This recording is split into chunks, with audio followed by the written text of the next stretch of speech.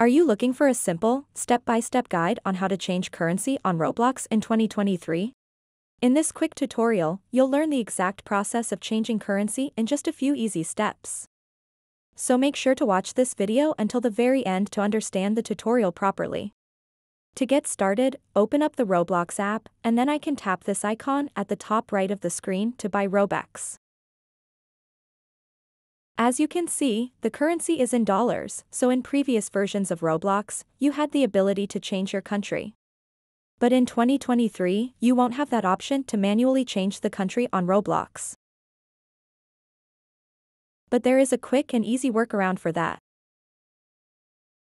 What you want to do is get a VPN and change your country, and what I recommend you use is NordVPN. I'll put a link in the description to get the best deal for this VPN service. So once you've got this VPN, you can change your country to whatever you want and then go back to Roblox and log back into your account while you are connected to the VPN.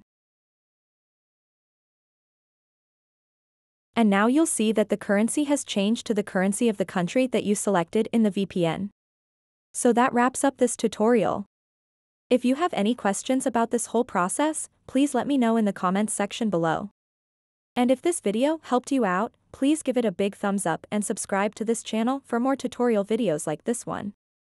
Thank you so much for watching and have a good day.